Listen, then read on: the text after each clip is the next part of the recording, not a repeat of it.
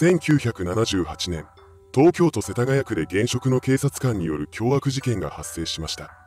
今回はその内容をまとめていきます。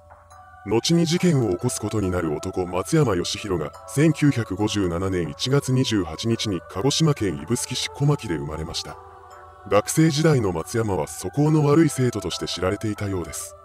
彼は中学3年の時に用品店で窃盗事件を起こしていますその1年後には未成年でありながらタバコを吸っていることが通っている先の高校にバレて定額処分になりましたさらにバイクの無免許運転をしたことで家庭裁判所に送致されています。その他、高校3年生の時にはバイク事故を起こしていました。そのようにして相当な問題児だった松山ですが、高校を卒業する頃にはなぜか警察官を志すようになります。彼は高校卒業後に警察学校へと入学しました。そこで1年間の訓練を受けた松山は晴れて警察官になり、警視庁北沢署に配属されることが決まります。そうして彼は警察官として働き始めました。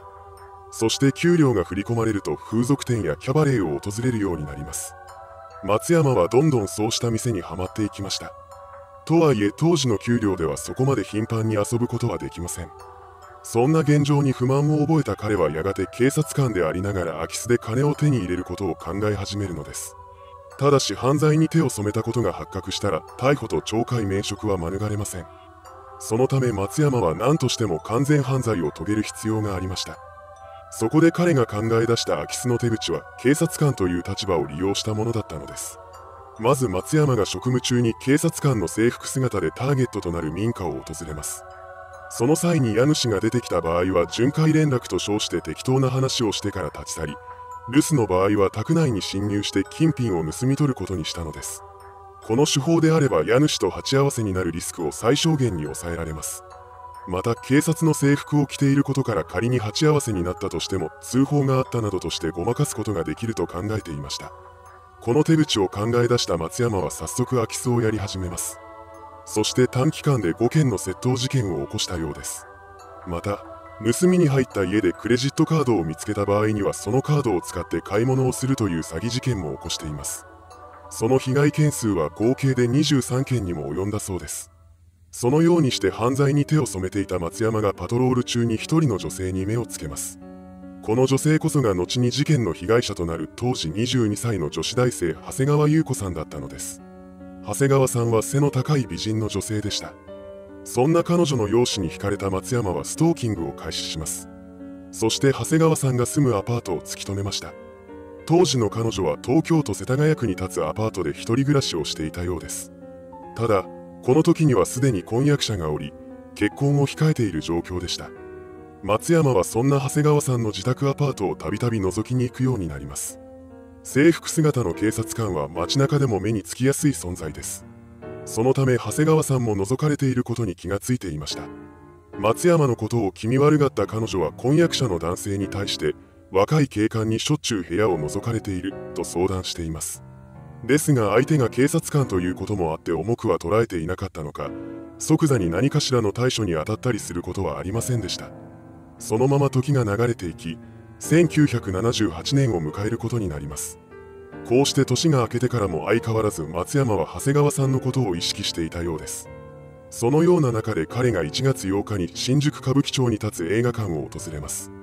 この日彼が見た映画はアダルトシーンが含まれているものでした。その映像を見て興奮した松山の頭に浮かんだのは長谷川さんの姿です。そして映画が終わる頃にはそれまで覗きの対象でしかなかった長谷川さんのことを強姦したいとまで考えるようになっていました。それから時間が経ってもその思いが収まることはなく、とうとう松山は犯行を決意します。犯行計画は空き巣の手口を流用したものでした。彼はいつものように制服姿で巡回に来たといえば信用してもらえると考えていたのです。1月10日、勤務中の松山が長谷川さんの自宅アパートに向かっていきます。そして到着後に隣の部屋の住人が留守にしていることを確認しました。その上で松山は長谷川さんの部屋のドアをノックします。そして派出所から巡回連絡に来たと嘘をついてドアを開けさせました。こうして部屋から出てきた長谷川さんが松山のことを見て彼が覗きをしてくる警察官と同じ人物だということに気がついたのかは分かりません。いずれにせよ、彼女は巡回連絡を聞くことにしたようです。そんな長谷川さんを前にした松山は平成を装って適当な話をしながら部屋の中の様子を確認しました。しばらく様子を伺っても宅内に彼女以外の人物がいる気配はありません。そこで長谷川さんが一人だということを確信した松山は話すのをやめて無理やり部屋の中に押し入っていきます。そして内側からドアの鍵をかけました。こうして密室を作り出した彼は驚く長谷川さんに襲いかかります。これに対して彼女は必死の抵抗を見せました。ここで揉み合いになった際に争った勢いで部屋の窓ガラスが割れてしまいます。この音で近隣住民が様子を見に来ることを恐れた松山は口封じのために長谷川さんを殺害することにしました。彼はその場にあったストッキングを手に取って長谷川さんの首に巻きつけます。そしてそれを締め上げることで彼女を窒息死させたのです。こうして予定していなかった殺人にまで手を染めた松山は周囲の様子を伺います。そこで近くに人の気配がないことを確認すると当初の目的である強姦に及ぶことにしました。そのようにして目的を遂げた彼は偽装工作に動き出します。松山は強盗が入ったように見せかけるために宅内をわざと荒らしていきました。さらに長谷川さんの財布から現金8650円を盗み取ります。そこまでしたところで彼は家から出て行こうとしました。そうしてドアの方に目をやると割れた窓ガラスの隙間から一人の女性がこちらを見ていることに気がつきます。この女性の正体はアパートのオーナーでした。いつから見られていたのかわからなかった松山は一か八か第一発見者を装って女性が殺されている。至急110番してくださいと言い放ちます。これを受けた女性は言われた通りに警察への通報を入れました。そう彼女はアパートに到着したばかりで松山が犯人だとわかる決定的な場面を見ていなかったのです。松山は女性が通報を入れている間にその場を離れていきました。そして何事もなかったかのように普段通りの勤務に戻っています。そんな中通報を受けた警察官が事件現場となったアパートに駆けつけてきました。そこで長谷川さんの死亡が確認されます。これを受けた警察は本件を殺人事件と断定して北沢警察署に特別捜査本部を設置しました。こうして始まった捜査には松山も加わることになっています。なおこの時点では通報を入れたアパートのオーナーが遺体の第一発見者だと思われていたそうです。しかしその後行われた事情聴取で第一発見者が若い警察官だったということが判明します。その警察官の正体が松山だということもすぐに明らかにされました。捜査に加わっておきながらその事実を黙っていた松山のことを不審に思った捜査員は彼に対する事情聴取を開始します。ここで松山は1月10日午後4時半頃現場アパート近くをパトロール中にガラスの割れる音を聞いたので駆けつけたところ長谷川さんの遺体を発見したと説明しました。この供述を聞いた捜査員は大きな違和感を覚えます。それもそのはず勤務中の警察官ならば事件現場に出くわした時点で自ら警察署に無線で連絡を入れるはずなのです。しかし松山はそれをしていませんでした。しかもなぜか民間人に110番通報をさせて自身は現場を離れています。その他にも矛盾する点が多く浮かび上がってきました。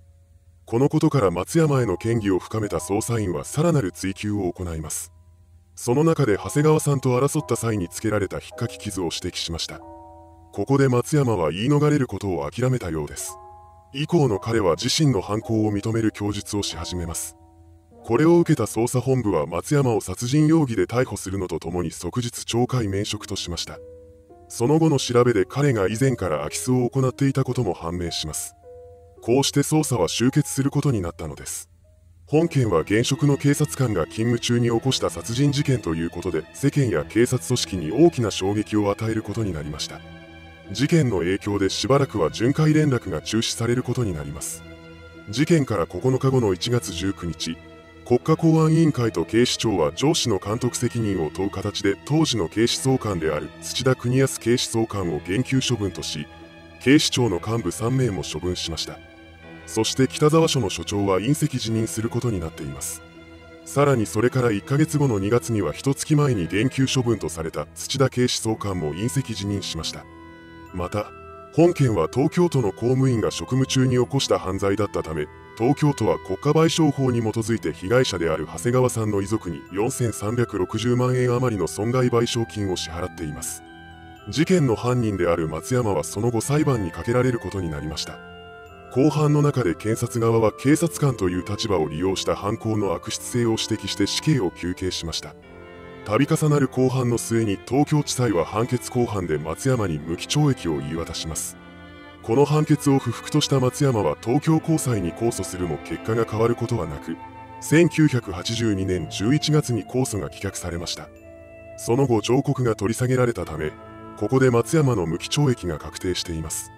無期懲役確定後の彼は千葉刑務所に収監されました。いかがでしたでしょうか？警視庁始まって以来の汚点と言われる警察最大の不祥事。犯人の男は警察官という立場を利用して強姦殺人に及んでいたのです。警察官というのはあくまでも職業の一つであり本人の信用性を担保するような肩書きではないということが世間に知らしめられました。もちろん多くの警察官は真っ当に生きているのだと思いますが同じ人間である以上そうではない人も一定の割合でいるはずです。また近年は犯罪者が警察官を装って犯行に及ぶケースも多く確認されています。